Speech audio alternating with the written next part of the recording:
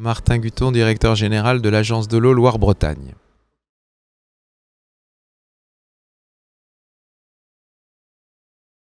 Les programmes d'intervention des agences sont les outils financiers de l'agence, avec un volet recettes, les redevances, et un volet dépenses, les interventions des collectivités, des associations, des acteurs euh, économiques, industrie, agriculteurs qui investissent pour la reconquête de la qualité de l'eau.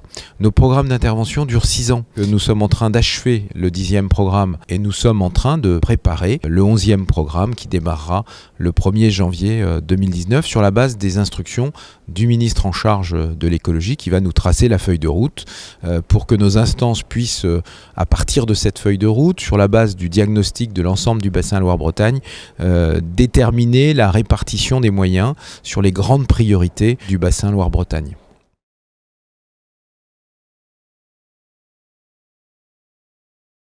Première observation, euh, nous sommes sur des milieux qui réagissent lentement.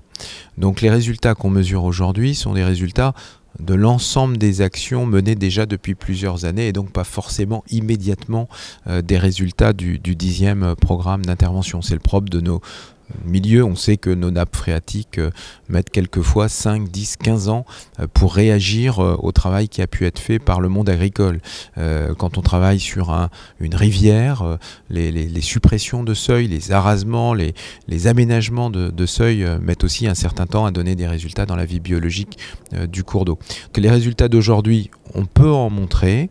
Et d'ailleurs, l'Agence de l'eau a, fait l'année dernière euh, toute une série de, conférences, euh, sur euh, le carrefour des gestions locales de l'eau pour l'ouest de la France, où on a pu montrer toute une série d'exemples très concrets, très pratiques, qui montrent l'effet des politiques d'intervention de l'Agence de l'eau aux côtés des, acteurs que je citais tout à l'heure, tous ces acteurs des territoires qui investissent pour la reconquête de la qualité de l'eau.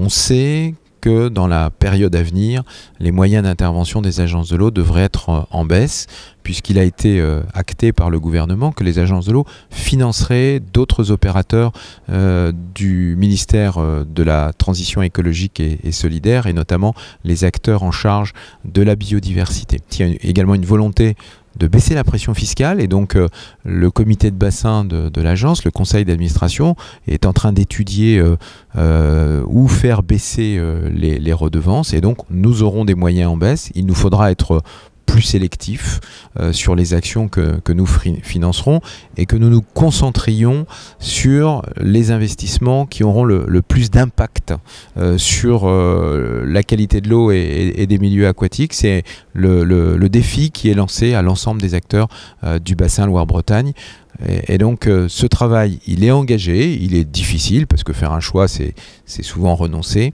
euh, mais je ne doute pas de la capacité des acteurs du bassin Loire-Bretagne pour le relever.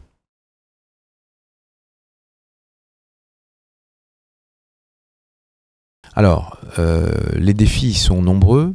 Beaucoup a été fait dans le domaine de l'eau, notamment sur le petit cycle de l'eau, assainissement, potable.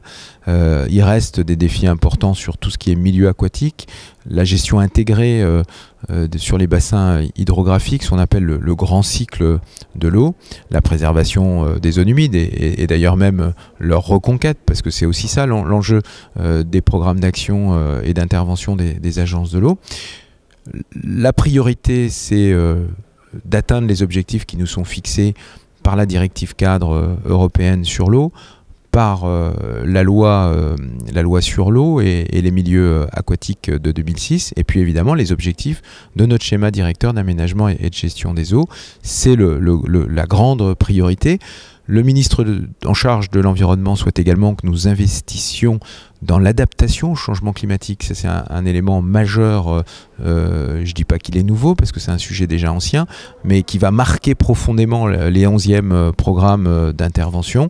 Et puis tout ce qui touche autour, évidemment, de la préservation de, la ressource, de la gestion quantitative de l'eau. C'est également un élément qui va être de plus en plus fort.